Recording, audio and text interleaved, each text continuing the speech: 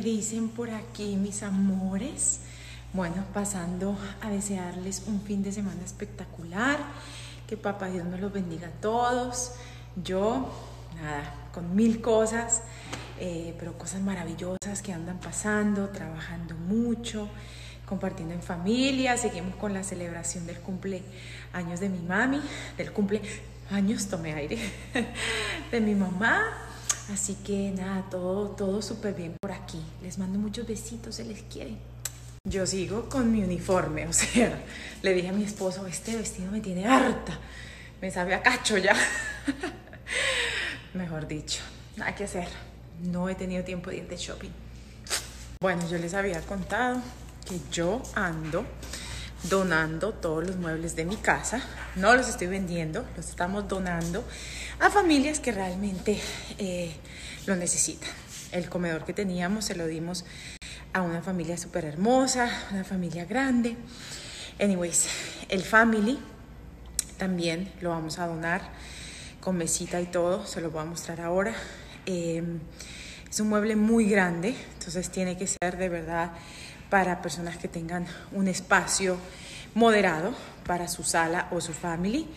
Eh, y nada, mándenme mensajitos directos y, y yo así escojo a, a, mis seguidores y a la persona que les dono las cositas. Realmente, papá Dios pone en mi corazón esa persona que realmente este, debo yo darle este regalo. Así que, nada. Este es el mueble con su mesita. Eh, obviamente todavía no estamos listos para donarlo porque todavía no nos llega lo que va a ir aquí. De hecho, Aquí va a ir una, un mueble de madera en toda la pared. Va a quedar súper lindo. Después, obviamente, como siempre, les muestro el antes y el después, fotos familiares, arte. En fin, todavía tengo para entretenerme, pero pues no ha llegado lo principal, que son los muebles. Pero bueno, aquí se los dejo. Mándenme mensajitos. Una pequeña anécdota. Aquí vamos a construir un pantry que una alacena súper pues grandecita. Ya mandamos a hacer los muebles, el carpintero cortó los muebles, todo.